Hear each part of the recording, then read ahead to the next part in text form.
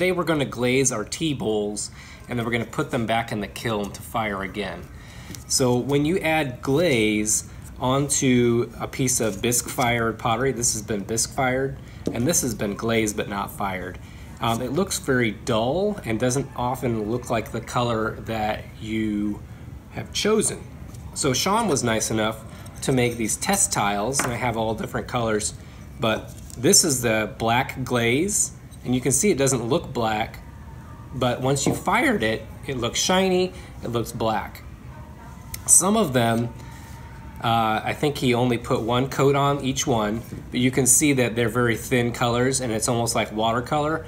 But if you layer up more than one um, coat, it will be darker. So like we're here where it dripped, that is more of what it would look like if I did two or three coats of this color here. All right.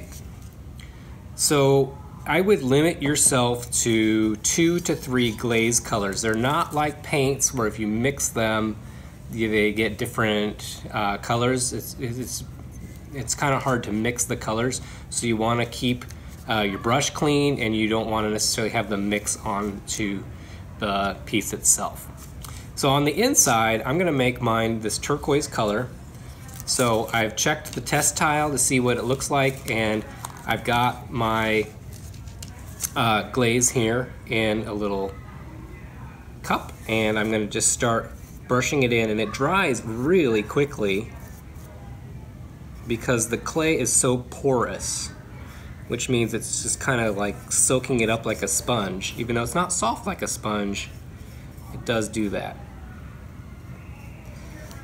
Um, so I'm on coat one here.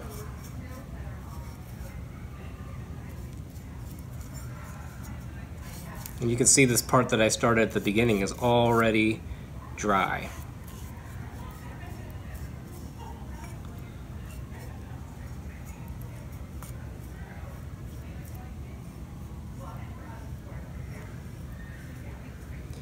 So I'm going to go in and make that second coat.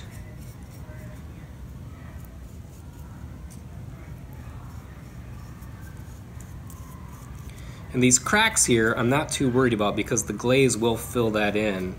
And you'll probably be able to see them through that. And that's just kind of because we let it dry really fast. But it's also just part of doing ceramics. So now I'm gonna rinse my brush out and wipe on the side. And I'm gonna go ahead and switch colors. Now I'm not going to paint on the sides or the underneath part. Not on the foot, not on the part where I've made my name. All right, now, so I wanna make sure all the water is out of that because I don't really want watered down glaze. Because then I'll end up not having that full color. I'm just going to start by just putting it on here. I'm going to leave this part blank and brush around.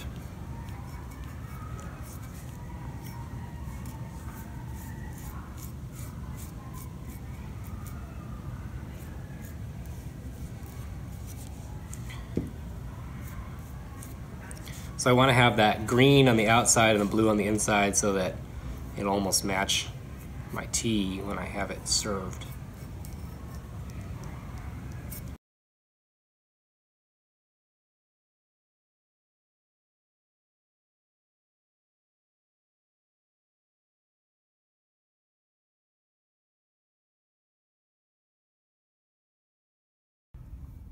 And once it's dry, you can leave it aside to uh, be put in the kiln.